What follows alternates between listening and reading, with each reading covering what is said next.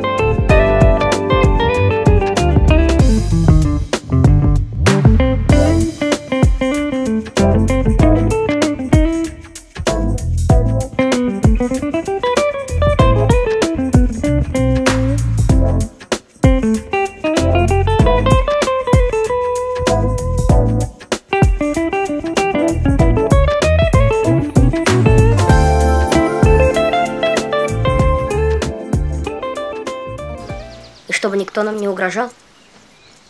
Странно. А кто нам может угрожать? Като. Он живет на той стороне.